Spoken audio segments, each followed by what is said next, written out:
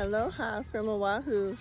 We're at a local farm here and uh, we're gonna pick up some uh, produce. So uh, having a lot of fun here out and about with our friend Deb again. And it is June 22nd, 9.30 in the morning. And I think it's about 82 degrees already.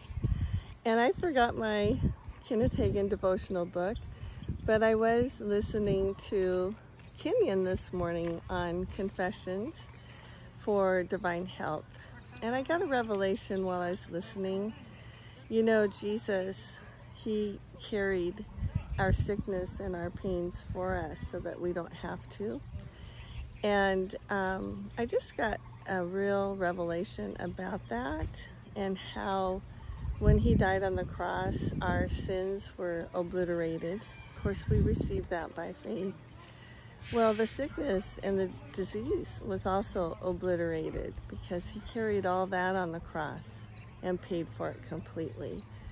So we received that by faith also. So I was thinking about any symptoms that I might experience that they are already uh, Jesus already carried those for me, so I don't have to.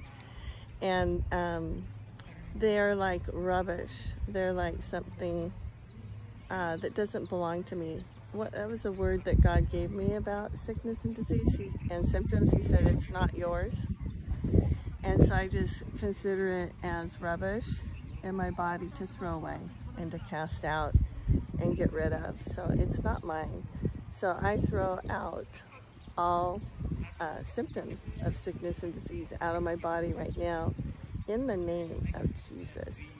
And I declare for my body that I'm walking in divine health and that I have unimpaired health. That's one of the definitions in the Bible in the original language unimpaired health and soundness, soundness of body. So there's peace, peace in my flesh because Jesus carried all my sickness and all my pains for me so I don't have to. And I thank you for that, Jesus, and I receive it by faith. I love you. Thank you, Jesus. Aloha, everybody. I pray that you also get the revelation of that promise to us from Jesus Christ, that it will become yours and you'll reject and resist sickness and disease, as it says to do in James 4 7. Submit to God, resist the devil, and he will flee from you. Sickness and disease is not from God, it is from the devil. And we're to resist it and, and command it to go. And it will, because we have all power and authority over all the power of the enemy. It's all in scripture.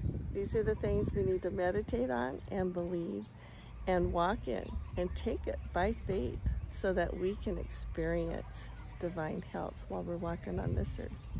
Okay, have a beautiful Thursday. God bless you and aloha. Mwah.